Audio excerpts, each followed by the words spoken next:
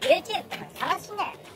タバコ吸ってます。あーだから映ってああだから映ってだからだからい。やい。やい。やい。やい。やい。やはーい。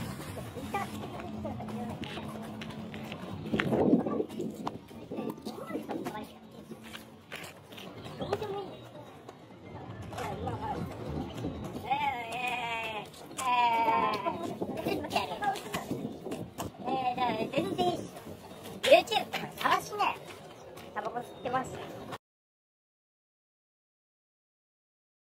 すいません、ここね、あの、公園の中なんで、タバコ吸われると煙たいんで、すいません、これ、持って帰ってもらっていいですか？す。いません、これ持って帰ってください。あの、ここ禁止公園なんですけど、公園の中でタバコを吸ったらいけないっていうのはご存知でしたよね？いらっしゃいじゃあなんで2000円をさっき取ってくださいって言ったんですか？